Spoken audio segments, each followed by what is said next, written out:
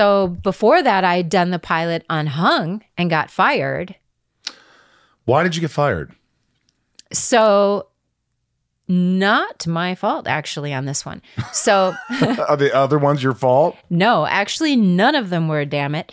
But um I what's his name? He he directed Sideways and he had just won the Oscar. Hmm, I don't know. his name. Alexander Payne. Thank you. Yeah. Thank you, Ryan. See, he knows things. He doesn't know con- con- Concentric circles. concentric circles, but And neither do you. he knows that. Go ahead. Yeah, that is in your defense, that is more useful to us than concentric circles. It is. So why'd you get fired? So, so to try to make that succinct, um, this was one of those things, and it just shows the class of HBO. Actually, is the moral of the end of the story.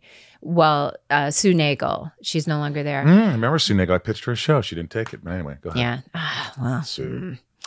Well, I it was one of those auditions. You've probably had these where they say we've seen everyone in town, no one is right, Mhm. and then you're like, okay, yeah, exactly. hmm Boy, and there's no problem with the script, of course, when they've seen a thousand actresses who can't make it work.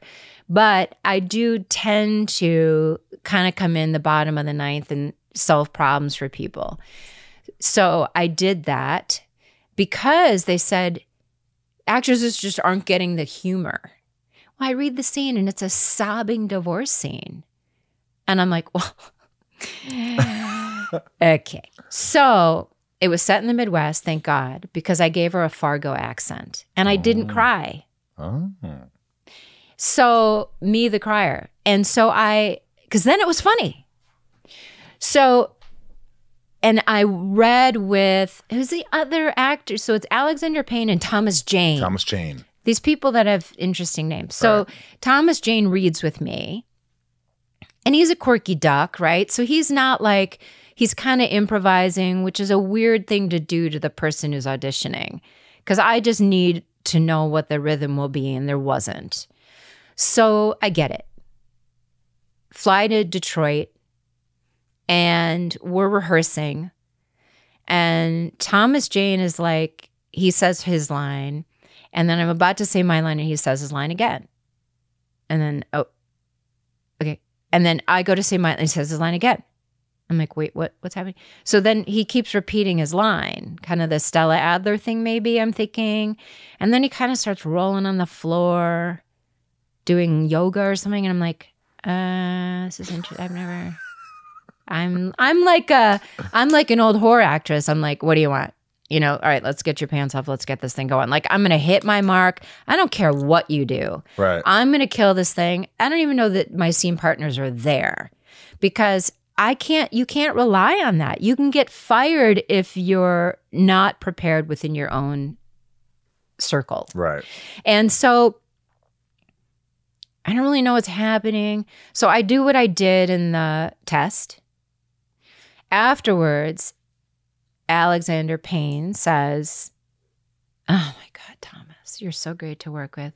I would so much rather film what you just did than what we have to film. Oh, and Kristin on the day, no accent, you'll be crying. And he leaves. And he just won the Oscar. And I'm like, he's wrong, but he just won an Oscar. So they had me, he said, no makeup on, Kristin. They dyed my hair mousy. They put me in baggy, ugly clothes with food on them, and I'm sobbing for 12 hours. Snot's running down my face. I, I don't want to be married to you. ah." And I'm trying to save this one line where she's like, back in high school, you were the star athlete, you were this, you were that, and now you're just hung. So there was one line, right, where I could maybe still keep my job. So then it got, and then the producers at, would kind of at the end of the day, they went, Oh, good job, Kristin. That was very funny. And I'm like, "R- r- Wow, it's not. It hmm. wasn't. And you went home. And I went home. Oh, and I did not get along with the dude, Eddie Eddie James or something. He was in the Oceans movies. But He- she just didn't get along. he played my husband. First person in ever, ever. I've never gotten along. I get along with everybody. He hated me. And he basically told me that. So- Jesus.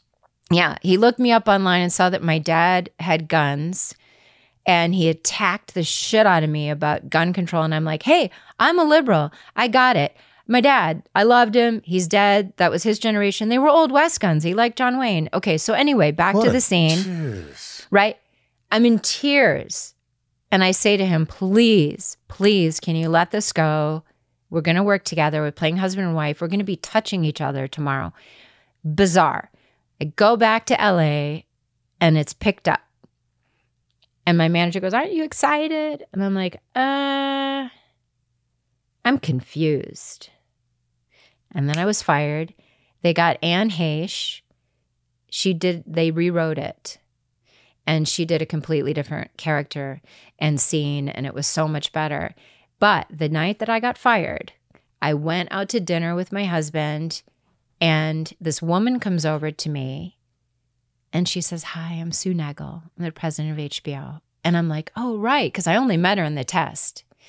So you're not really able to retain faces in that circumstance. And and she said, It wasn't you.